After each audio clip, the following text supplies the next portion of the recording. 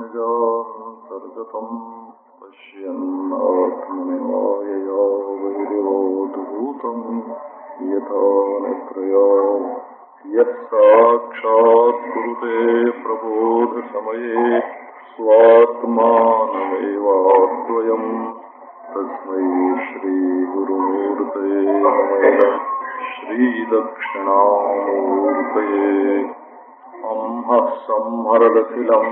सकृदयादेव जीवलोकस्य तरणिरिवतिनिरराशम् जयति जगन्मङ्गलम् हरेर्नाम ॐ शान्ति शान्ति शान्ति।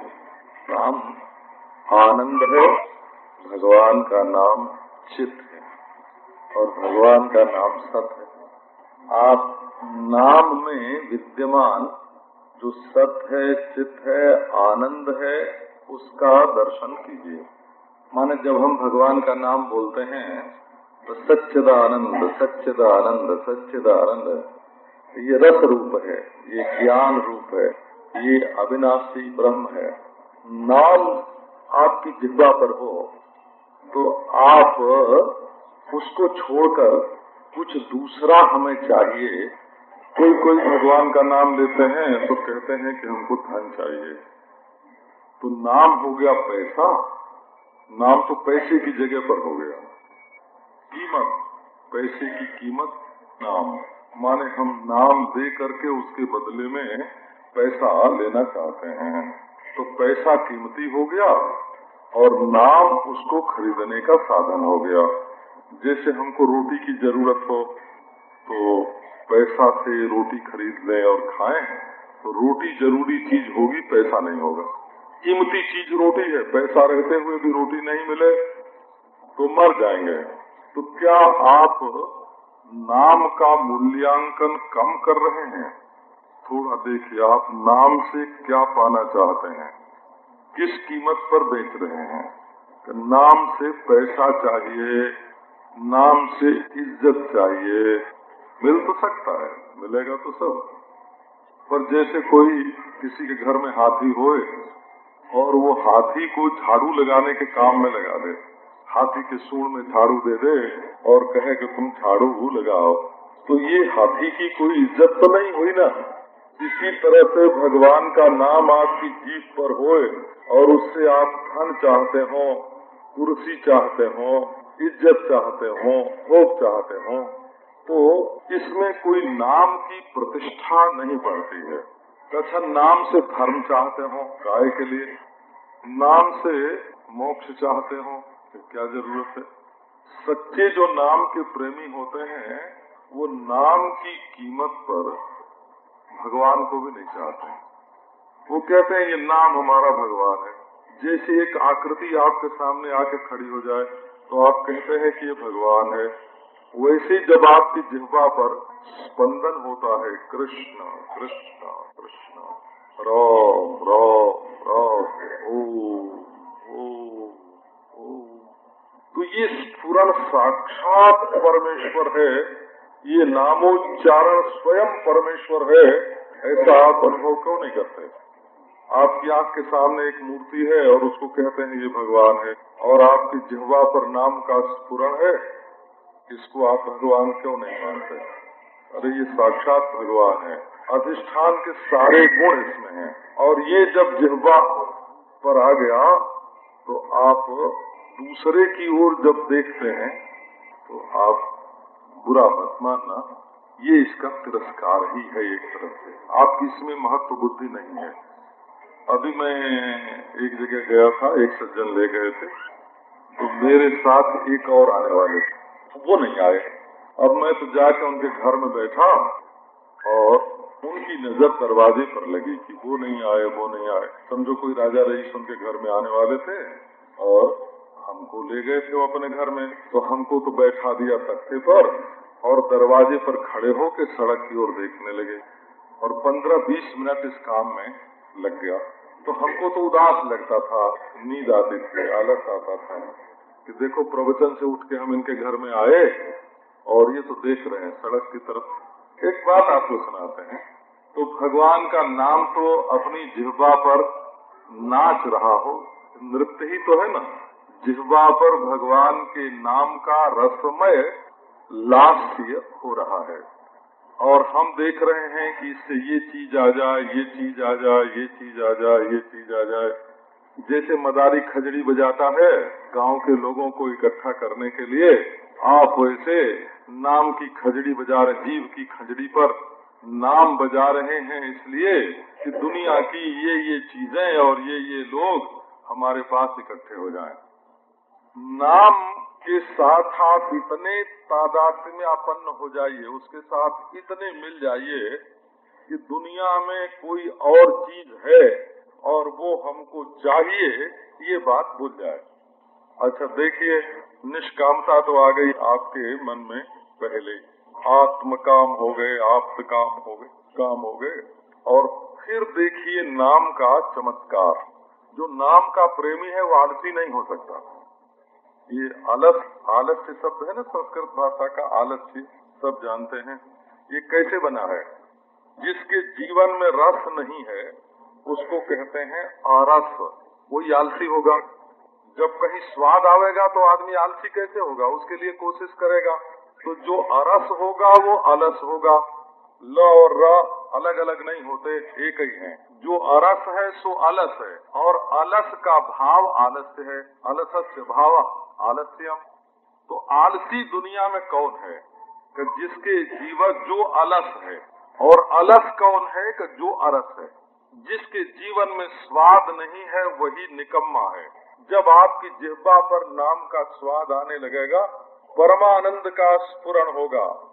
अगले कदम में कुछ नहीं, यही सब कुछ है। अगले मिनट में कुछ नहीं, यही सब कुछ है। दूसरी वस्तु कुछ नहीं, यही सब कुछ है। नाम नाम नाम। तो ये नाम परमानंद है। निष्कामता का आलंबन है, ऐसा वेदांती कहते हैं।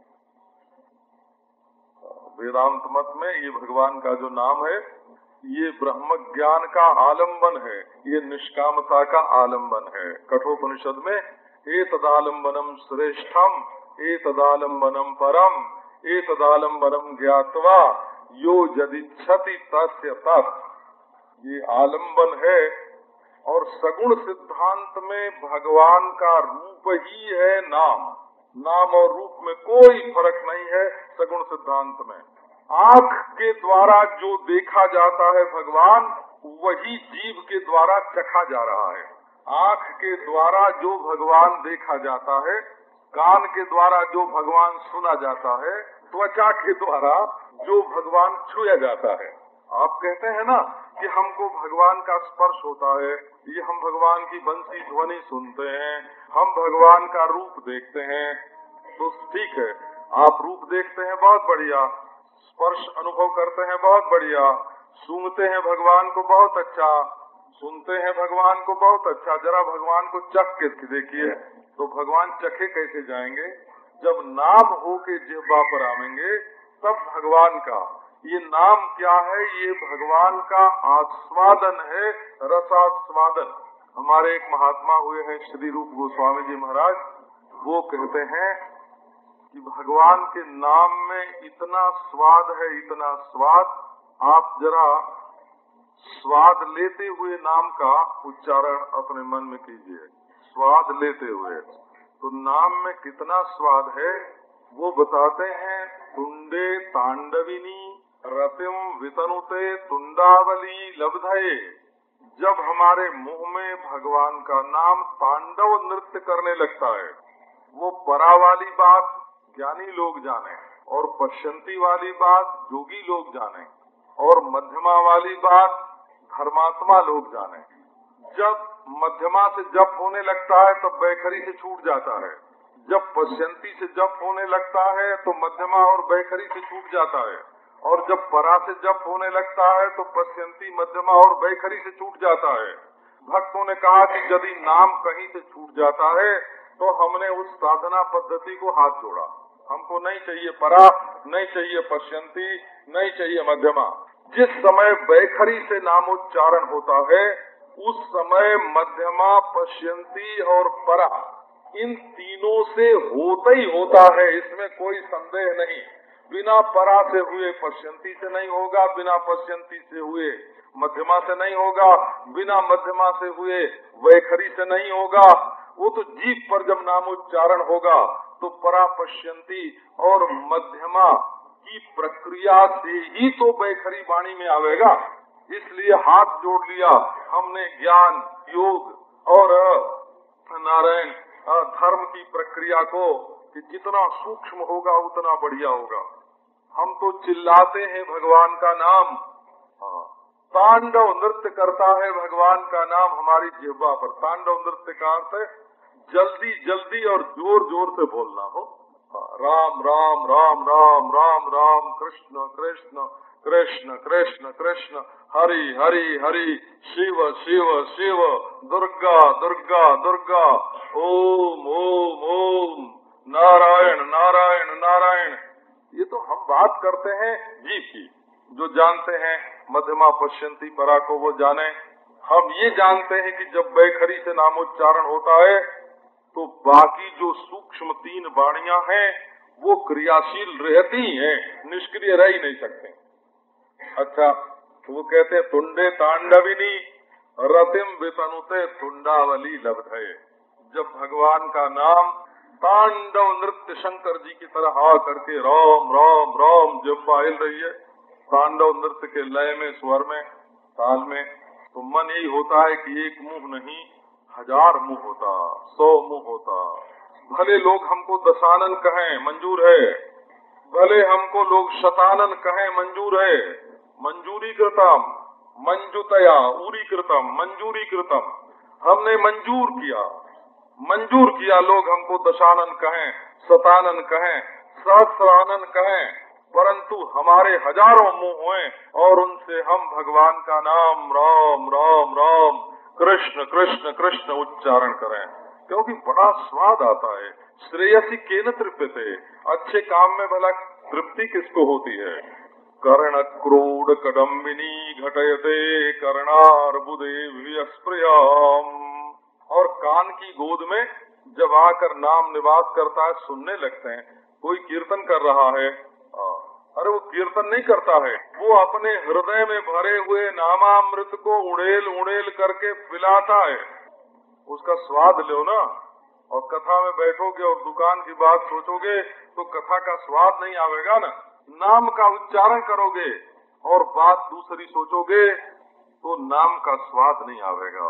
जब कान के छिद्र में नामामृत प्रवेश करता है, रस रस रस, ये आनंद स्वरूप है हो ब्रह्म का लक्षण है आनंद। आनंदो ब्रह्म इति व्यजानात। आनंदम ब्रह्म इति व्यजानात। आनंदो ब्रह्म इति व्यजानात। विज्ञानम आनंदम ब्रह्म। विज्ञान और आनंद ब्रह्म है। आनंदादेव खल्यमान जाता नहीं। आनंद से ही वस्तुओं की उत्पत्ति होती है। आनंद आनंद आनंद। तो जिस समय कान में ये आनंदामृत नामामृत उड़ेला जाता है ये इच्छा होती है कि जैसे शेष भगवान के नारायण। जैसे हज़ारों कान हैं हज़ारों जैसे शास्त्र शीर्षा पुरुष के सहस्रों कान हैं वैसे हमारे सहस्रों कान हो जाएँ, अरबों कान हो जाएँ हमारे। और उनसे हम भगवान नामामृत का श्रवण करें। नाम की धरती पर बैठे हैं। धरती के कण कण में से नाम की आवाज़ हो रही है। और जल के तरंग तरंग में कण कण में नाम भरा हुआ है। और संसार की प्रत्येक वस्तु नाम के द्वारा रूपायित हो रही है। नाम की हवा बह रही है। नाम की बांसुरी गूंज रही है। नाम में बैठे हैं, नाम में सोए हैं, नाम में चलते हैं। अरबों नाम अरबों नाम हमको चारों ओर से घेरे हुए और हमारे कान में प्रवेश कर रहे हैं। चेत प्रांगण संगिनी, विजयते सर्वेन्द्रियाणाम कृतिम और जब नाम मीठी चीज़ मीठी चीज़, खट्टी चीज़ जब मुँह में डालते हैं तो गले में उतर जाते हैं। गले से भीतर जाकर के स्वाद आता है। बड़ा भारी स्वाद, बड़ा भारी अमृत। हृदय वस्तु। हम जो भोजन करते हैं वो सूंघने में भी अच्छा होना चाहिए देखने में भी अच्छा होना चाहिए खाने में भी अच्छा होना चाहिए और हृदय के लिए भी हितकारी होना चाहिए। भोजन में चार गुण होना आवश्यक है। अब जो सुरुचि संपन्न लोग नहीं हैं, वो बैगन का साग लोहे की कड़ाही में बना देंगे। तो देखने में कैसा लगेगा? कोयले की तरह। जहाँ लोहे की कड़ाही में बैगन का साग बना और काला हुआ, और मैंने देखा महाराज, कई सुरुचि संपन्न लोग होते हैं। जरा सा सोडा डाल देते हैं। किसमें? तोरई के। तोरई के साग में। ज्यो का त्यों हरा का हरा, वो साग पक जाने पर भी अपने मूल रंग को नहीं छोड़ता है। तो नारायण सुरुचि की बात दूसरी होती है। तो भोजन में सुरुचि कब है कि जब सूंघने में उसकी गंध से भूख लग जाए, उसको देखने से जीव पर पानी आ जाए। खाते समय जीव को बहुत आनंद आवे और शरीर के लिए हितकारी हो पथ्य हो हृदय हो उसको हृदय बोलते हैं। तो ये भगवान का नाम कैसा? का सुनने में आनंददायक, बोलने में आनंददायक, ध्यान करने में आनंददायक ये परम नाम रूप को अपनी गोद में लेकर के शब्द के पेट में रूप रहता है। जैसे शब्द बीज है हो शब्द बीज है और रूप अंकुर है। प्रत्येक शब्द रूप बीज में से एक रूपांकुर का जन्म होता है। तो जब नाम का आप उच्चारण करेंगे, चेत प्रांगण संगिनी, ये जीव में से आपके हृदय में जाएगा। हृदय हृदय हृदय के लिए बड़ा हितकारी। और वहाँ जाके चिपक जाएगा। फिर छुड़ाए नहीं छूटता। हमारे पास एक मध्य प्रदेश के ही साधक रहते थे। उन्होंने बरसों तक जप किया। वृंदावन में रहते। एक दिन आए, बोले, महाराज, बरसों हो गया जब करते, कुछ होता हुआ नहीं है। हम तो अब छोड़ते हैं इसको। अरे भाई, छोड़ो मत। नहीं हम तो महाराज, अब हमसे नहीं होता। तो मैंने कहा, अच्छी बात है भाई, छोड़ दो। अब छोड़ के गए तो पंद्रह बीस मिनट बाद आए कि महाराज, ये तो नहीं सोता, छूटता है। मैंने कहा, नहीं, अब नाम लेना नहीं, तुम्हारे लिए मना होंगे घंटे भर में तो वो व्याकुल होकर के रोने लगे, बोले कि, नहीं, अब इसके बिना रहा नहीं जाता है। अरे, तुम कहते हो कि इससे कुछ होता हवाता नहीं। ये तो इतना कर गया कि तुम छोड़ ही नहीं सकते। ये क्या फल नहीं है? ये फल नहीं मालूम पड़ता। फल तो ये है कि चिपक गया, वो तुम्हारे अंतर में चिपक गया, आसक्ति हो गई। देखो, पति लोग पहले तो पत्नियों को कुछ कह देते हैं, कुछ नहीं। तुम दुख ही दुख हो, जब से आई हो, तब से दुख ही दुख हो। बाबा, हम तो बहुत पहले ही अच्छे थे। हाँ तुम्हें जहाँ जाना हो, चले जाओ, ऐसे भी बोल देते हैं। परंतु जब वो जाने को तैयार होती है तो हाथ जोड़ के, पाँव पड़ के मनाते हैं कि नहीं, तुम्हारे बिना हम रह नहीं सकते। मनाते हैं कि नहीं मनाते हैं? ये क्या हुआ? ये तो इसी का नाम तो आ सकती है ना, इसी का। अरे, ये तो ब्याह हुआ हुआ है भाई। और नाम के साथ एक बार संबंध हो गया तो ये ऐसा संबंध है कि इसमें तलाक हो ही नहीं सकता। यहाँ तक कि अगर ब्रह्म ज्ञान भी हो जाए, ब्रह्म ज्ञान भी हो जाए, और कोई चाहे कि हम नाम को छोड़ देंगे तो ब्रह्म ज्ञानी की जीव जो है, वो अपने आप ही हिलती रहेगी। ब्रह्म ज्ञानी की जीव अपने आप हिलेगी। समाधि में जीव का चलना यदि बंद हो जाएगा तो समाधि से उठने के बाद फिर जीव चलने लगेगी। ये नाम तो ऐसा चिपकना है। ऐसा जैसे परब्रह्म परमात्मा, जैसे आत्मा। हमको छोड़ करके परब्रह्म परमात्मा जैसे कभी अलग नहीं हो सकता। वैसे व्यवहार में ये परमानंद स्वरूप परमानंद स्वरूप हमको छोड़ करके कहीं जा ही नहीं सकता। चेत प्रांगण संगिनी विजयते सर्वेन्द्रियाणाम कृतिम। सर्वेन्द्रियाणाम कृतिम। अब कोई कहते हैं, हमारी इंद्रियाँ नहीं मानती हैं। कि आप जब नाम का स्वाद लेने लगोगे तो आँख भीतर देखेगी कि देखो ये नाम का क्या रूप है। कान भीतर सुनेगा कि नाम की ध्वनि हो रही है। त्वचा भीतर नाम का स्पर्श करेगी। जिह्वा भीतर नाम का स्वाद लेगी, नासिका नाम का गंध सूंघेगी। ये नाम क्या है कि चिंतामणि? है नाम चिंतामणि। ये नाम तो चिंतामणि है। इससे गंध लो, इससे रस लो, इससे रूप लो, इससे स्पर्श लो, इसकी ध्वनि लो, और इसमें तन्मयता लो। ये नाम सब कुछ देने के लिए आया है। ये नाम नहीं, अमृत है अमृत। नामा अमृत ये आनंद है हो? आनंद है। ब्रह्म रूप है। उपासना में ब्रह्म और दृश्य वस्तु का विवेक नहीं किया जाता है। दृश्य वस्तु में ब्रह्म की अनुस्यूतता का चिंतन होता है। ये नहीं कि ये दृश्य है, जड़ है और इसका प्रकाशक, दृष्टा, अधिष्ठान इससे जुदा है। ये उपासना की प्रक्रिया नहीं है। उपासना की प्रक्रिया ये है कि नाम ब्रह्म। ये नाम साक्षात ब्रह्म है। का ब्रह्म कैसे है? कि जैसा परमानंद स्वरूप ब्रह्म है, ये बात श्रुति में कही जाती है, वैसा परमानंद हमें नाम में ही अनुभव होता है। ये नाम तो बिल्कुल परमानंद स्वरूप होने से ब्रह्म है। नो जाने जनिता कियमृत कृष्ण वर्णद्वयी। पता नहीं कितना अमृत कितना अमृत। एक बात नाम में और है। आपके घर में झगड़ा, लड़ाई कभी होती है कि नहीं? अगर घर गृहस्थी है तो लड़ाई, झगड़ा तो होता ही होगा, कभी ना कभी तो उसमें लड़ाई, झगड़े में बात क्या होती है? जैसे दो आदमी घर में है तो एक आदमी चाहता है कि दूसरा आदमी हमारे मन के अनुसार चले।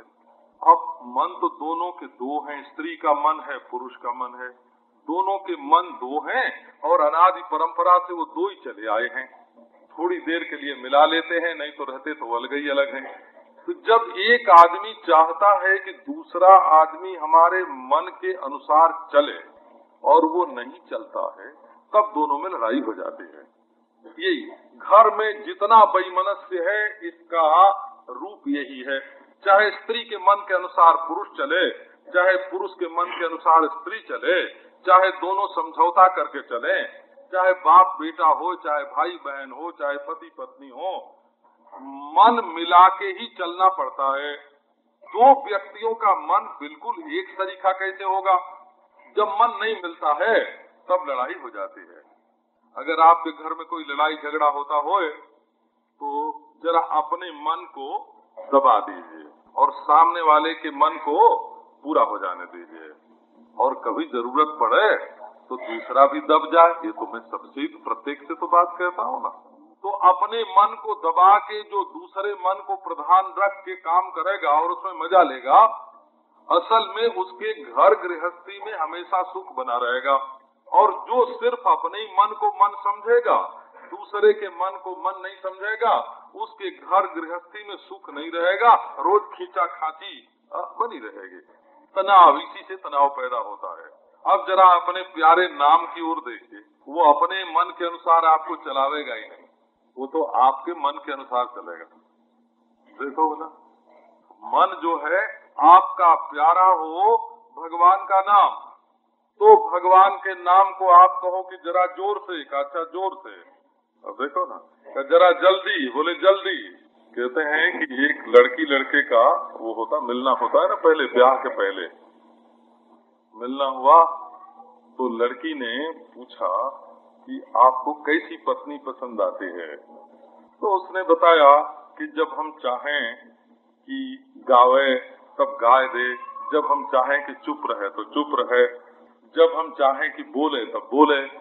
तो लड़की ने कहा कि, श्रीमान आप एक अच्छा सा रेडियो घर में खरीद के रख लीजिए, है ना? हाँ हाँ। आपको लड़की नहीं चाहिए, रेडियो चाहिए तो अरे भाई, जब लड़की लड़की लड़की होगी तो कभी अपने मन से भी बोलेगी, अपने मन से भी गावेगी, अपने मन से भी चलेगी, उसका भी मन होगा।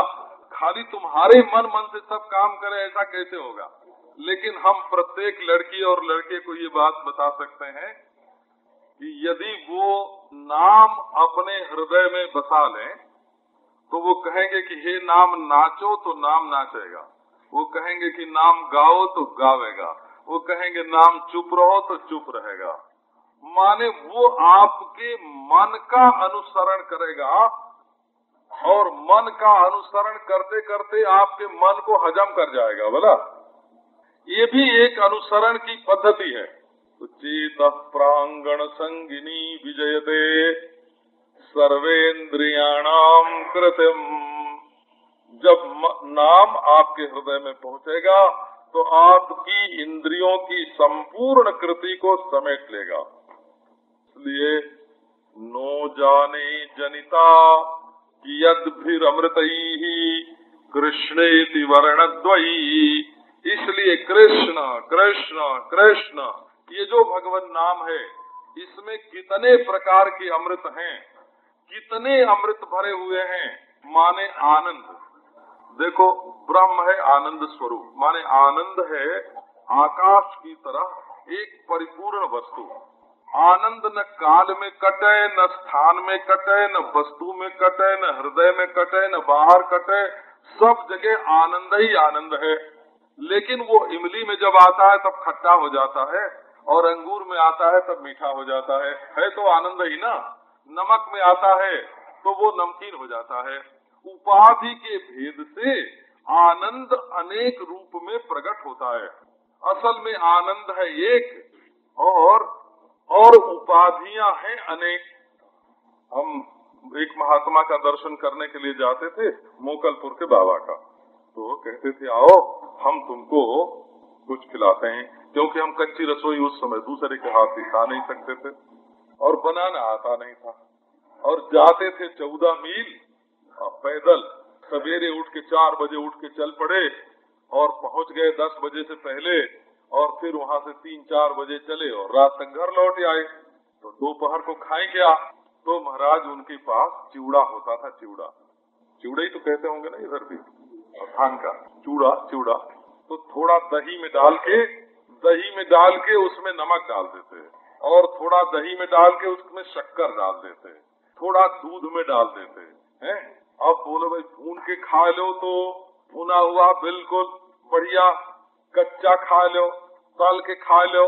चिवड़ा कैसी बढ़िया चीज़ है? चिवड़ा तो एक है, परंतु नमक की उपाधि से, दही की उपाधि से, शक्कर की उपाधि से, दूध की उपाधि से भिन्न भिन्न प्रकार का स्वाद देता है कि नहीं देता है? चिवड़ा एक है। परंतु वो उपाधि से भिन्न भिन्न प्रकार का स्वाद देता है। इसी तरह से ब्रह्म तो है एक, आनंद है एक, आनंद है बिल्कुल एक। परंतु आप अंगूर का आनंद लेना चाहते हैं कि चरपरे का, चटपटे मसालेदार का जीरा पानी का आनंद लेना चाहते हैं तो आनंद बिल्कुल एक है। तो ये जब हम नामोच्चारण करते हैं तो चाहे जल्दी जल्दी का आनंद ले लो चाहे धीरे धीरे का आनंद ले लो, चाहे ज़ोर ज़ोर से का आनंद ले लो, चाहे नाम के ध्यान का। ऐसा नाम महाराज बिल्कुल जैसे मोम आपके हाथ में हो तो चाहे औरत बना लो, चाहे मर्द बना लो, उसका चाहे जैसा पुतला बना लो, जैसा खिलौना बना लो इसी प्रकार ये नाम महाराज ऐसी नम वस्तु है, नमन नमनशील नमनशील कि आप इससे राम देख लो, कृष्ण देख लो, शिव देख लो, स्पर्श कर लो, कि ये नाम का सब कुछ बन जाता है। इसी से हमारे महात्माओं ने कहा, नाम परमानंद है। मधुर मधुर में तन मंगलम मंगला नाम मधुर मधुर में तन मंगलम मंगला नाम सकल निगम वल्ली सत्फलम चित स्वरूपम। सकृदपि परिगीतम श्रद्धया एलयावा। भृगुवर नरमात्रम तारयित कृष्ण नाम ये भगवान का नाम कैसा है? मधुर मधुरम। मधुर मधुर में तक मधु माने मस्त हो जाए जिसको ले करके मनुष्य मस्त हो जाए उसका नाम मधु। माध्यति अनेना इति मधु। जिससे मनुष्य मस्त हो जाए, उसका नाम मधु है। और मधुराती इति मधुरम अथवा मधु एवं मधुरम। स्वार्थ में रख प्रत्यय होता है, अथवा धातु के साथ अलग बनाने प्रत्यय न करे। रा दाना दानयो धातु से बना ले। मधुरम मधु क्षरण करता है मधु क्षरण आपने वेदों में सुना होगा एक मधु विद्या है। बृहदारण्य उपनिषद में बाईस तेईस वस्तुओं का नाम लेकर के वर्णन किया गया है। यम पृथ्वी सर्वेशा भूतानाम मधु। ये पृथ्वी संपूर्ण प्राणियों का मधु है। आप मधु है, तेज मधु है, वायु मधु है, आकाश मधु है। इस प्रकार ये पुरुष जो है, ये मधु है, मधु। मधु रूप है। बड़ा मीठा है। ये जब अपना मन बिगाड़ देते हैं, तभी कड़वा लगता है। नहीं तो अपना आपा किसी को कड़वा लगता ही नहीं, ये तो मधु स्वरूप है। ऋग्वेद में, मधु बाता रितायते मधु क्षरंती सिंधव माधवीर न संतोषदी मधुनक्त मुतोषसो, मधुमत पार्थिवम रजा। मधु मधु मधु, का वर्णन है। तो ये वेदों में वर्णन तो है, पर मधु मिलेगा कहा? वो, जो बोतल में मधु होती है, वो मधु नहीं है। और जो छत्ते में लगती है तो वो मधु नहीं है। तो मधु कौन है? का मधुर मधुर में आपको ब्रह्म मधु का पान करना हो तो नाम का उच्चारण कीजिए। आज तक दुनिया में ऐसा कोई संत, ऐसा कोई महात्मा, ऐसा तो पैदा ही नहीं हुआ है, जिसने नाम का आश्रय न लिया हो।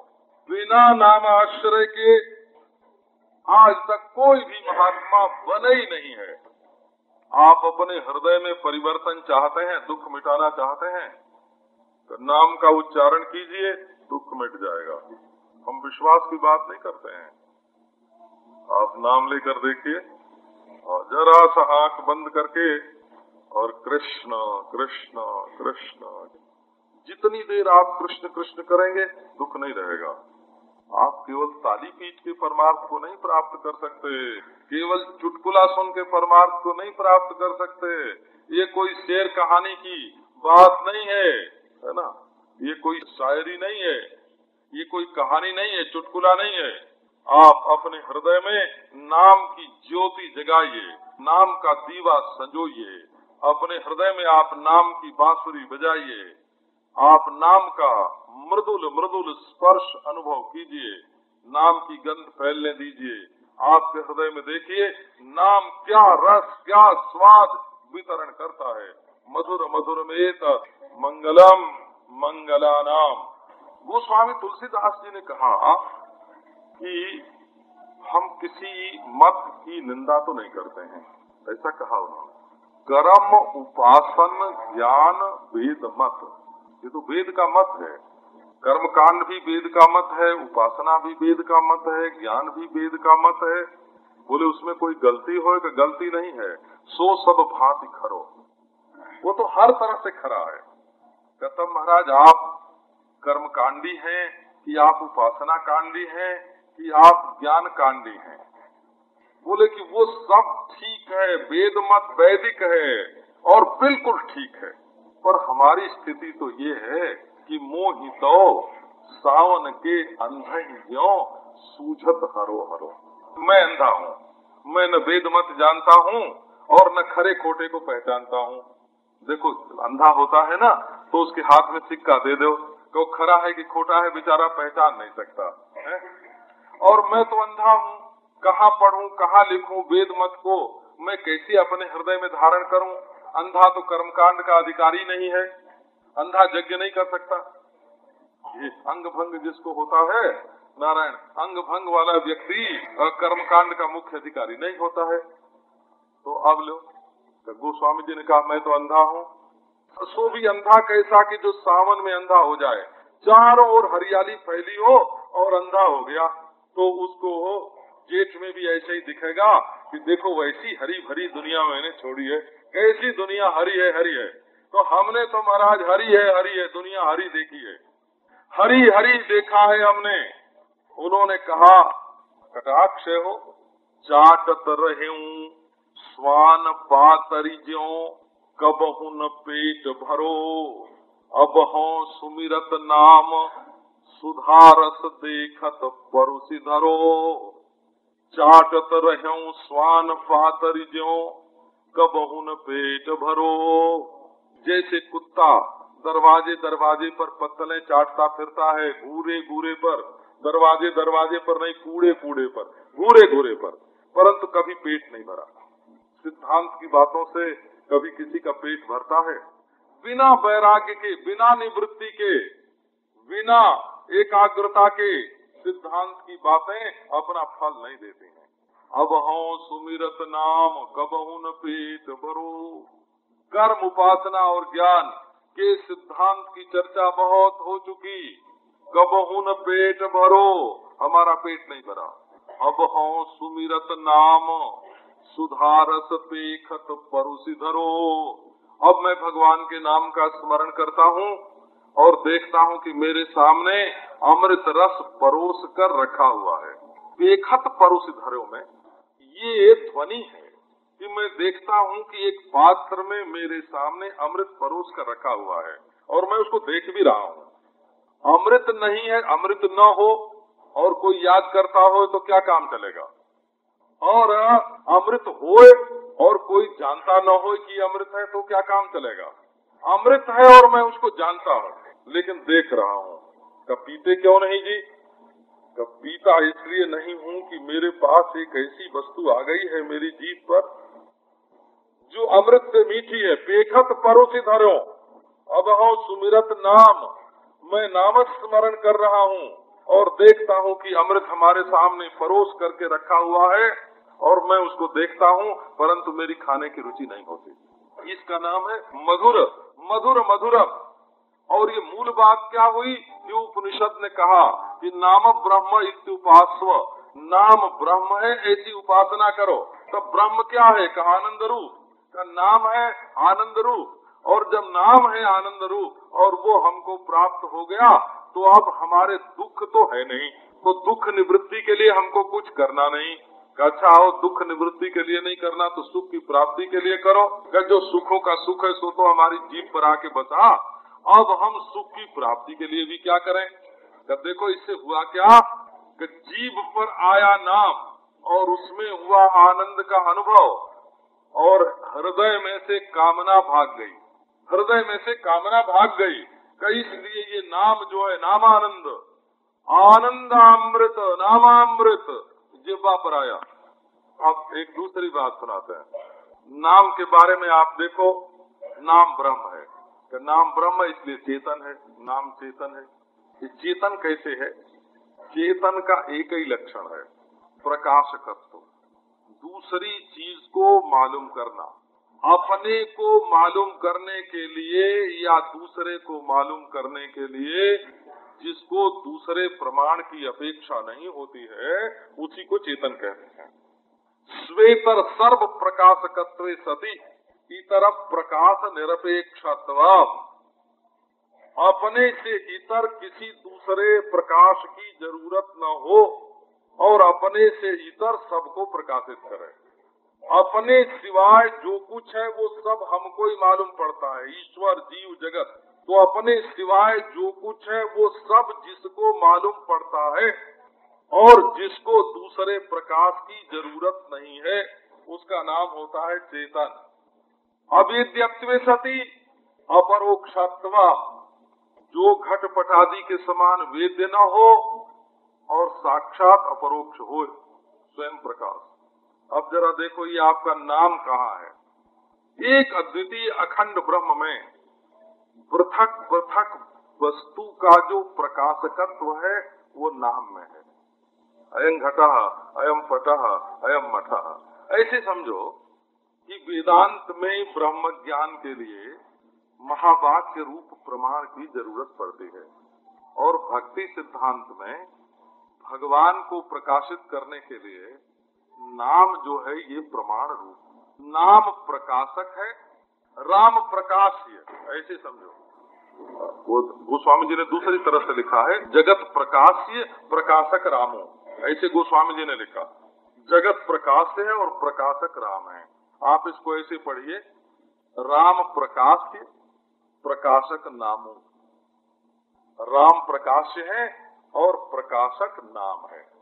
तो प्रकाशकत्व जो है, ये चेतनत्व का लक्षण है। किसी के हृदय में, किसी के हृदय में यदि राम आवेंगे तो आवेंगे क्या वो तो है? दाना तो है नहीं। आपके घर में अंधेरा है, कोई चीज़ है, वो दिखाई नहीं पड़ती है। और तो राम तो है, परंतु उनका रूप नहीं दिखता है। ऐसे समझो। तो राम आपके हृदय में है और उनका रूप नहीं दिखता है। तो आप नाम का दिया अपने हृदय में संजो दीजिए तो राम का रूप दिखने लगेगा। मन भगवान का कोई भी राम से हमारा मतलब हमारा राम समझो कि संसार में जितने मत पंथ हैं और वो ईश्वर का जैसा भी स्वरूप मानते हैं, उसी को हम राम बोल रहे हैं। उसको हम राम कहते हैं। तो हृदय में जो राम है, माने परमेश्वर है, राम का रूप है, उस रूप को हम किस दीपक के प्रकाश में देखें? तो बोले, नाम के प्रकाश में देखो। नाम के प्रकाश में। यहाँ तक कि यदि आप अलग अलग भी चाहे ना ये चरण हैं भगवान के। ये हाथ हैं भगवान के। ये छाती है भगवान की। ये मुख है भगवान का। ये नेत्र है भगवान के। ये मुकुट है भगवान का। ये बनमाला है भगवान की। ये पीताम्बर है भगवान। एक एक चीज़ का अलग अलग आप नाम लीजिए। वो नाम अलग अलग वस्त्राभूषणों को भी प्रकाशित करेगा। अलग अलग आयुधों को भी प्रकाशित करेगा। आप धनुर्धारी राम बोलिए। तो धनुर्धारी राम बोलने में धनुष बाण सहित राम प्रकाशित होंगे। आप मुरलीधारी कृष्ण बोलिए तो मुरली सहित कृष्ण प्रकाशित होंगे। पीताम्बर धारी कृष्ण बोलिए तो पीताम्बर सहित कृष्ण प्रकाशित होंगे। मयूर मुकुटी कृष्ण बोलिए तो मयूर मुकुट सहित कृष्ण प्रकाशित होंगे। ये नाम जो है, ये नाम एक ऐसा प्रकाश है जो वस्त्राभूषण सहित, आयुध सहित अंगोपांग सहित अपने इष्ट देव की मूर्ति को हमारे हृदय में प्रकाशित करता, बनाता नहीं है। बनाता नहीं है, दिखाता है। शब्द जो है, शब्द का स्वभाव निर्माण का नहीं है, बोधन का है। ये तो आप जानते हैं ना, शब्द का स्वभाव निर्माण नहीं है। शब्द बनाता नहीं है। शब्द घड़े को बनाता नहीं है। बल्कि अनजान व्यक्ति को ये बोध कराता है कि ये घड़ा है। पहले हमने घड़ी नहीं देखी थी। कि घड़ी कैसी होती है? तो हमको बचपन की याद है। तो हमारे गाँव में घड़ी का प्रवेश ही नहीं था। तो हुआ ये कि जो बाज़ार का गाँव था, उसमें पड़ा प्लेग तो वो लोग अपनी दुकान उठा के, वहाँ के एक व्यापारी थे, वो दुकान उठा के हमारी बैठक में चले आए। अपना गाँव छोड़ के डेढ़ मील, दो मील दूर। वहाँ उनकी दुकान लग गई, गद्दी लग गई। और दीवार पर घड़ी टंग गई। हाँ तो हमको बताया गया कि ये घड़ी है। तो उस समय बताया गया कि ये घड़ी है। घड़ी जब लग गई, तब हमको बताया गया कि इसका नाम घड़ी है। उसमें वो क्या हिलता है? हाँ हाँ वो हिल रहा था।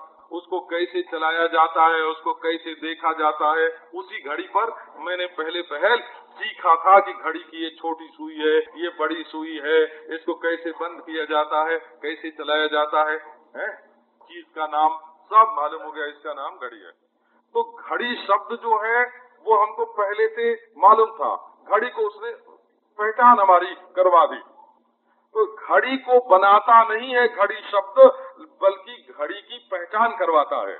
इसी प्रकार ये जो हम भगवान का नाम लेते हैं, ये हमारे हृदय में भगवान का निर्माण नहीं करता, बल्कि भगवान की पहचान कराता है।